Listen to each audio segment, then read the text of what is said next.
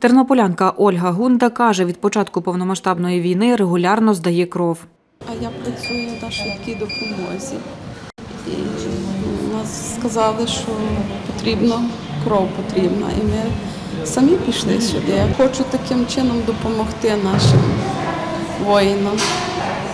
Хоча тим. Громадська організація Я донор співпрацює із центром служби крові. Її керівник Олександр Хома розповідає, здає кров 5 років поспіль. Якраз десь, напевно, з вересня буду наступну свою донацію, поки що ще не можна. Два місяці не пройшло між донаціями, відповідно, треба відновитися. На сьогодні в нас є великі запити від військовослужбовців. Ми приймаємо усі групи крові. Ми розуміємо, який є відсоток тих чи інших людей, тих чи інших груп крові загалом в населенні. Тобто, чим більше е, поширена та чи інша група крові, відповідно, її також необхідно давати більшій кількості людей.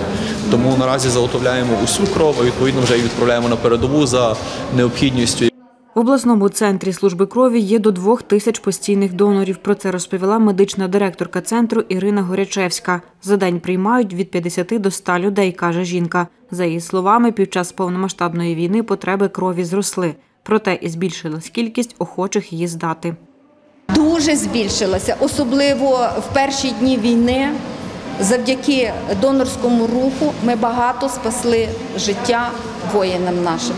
Вони зараз потребують нашої крові. На сьогодні для нас от важливо, щоб мінусові групи е, приходили донори з мінусовими групами.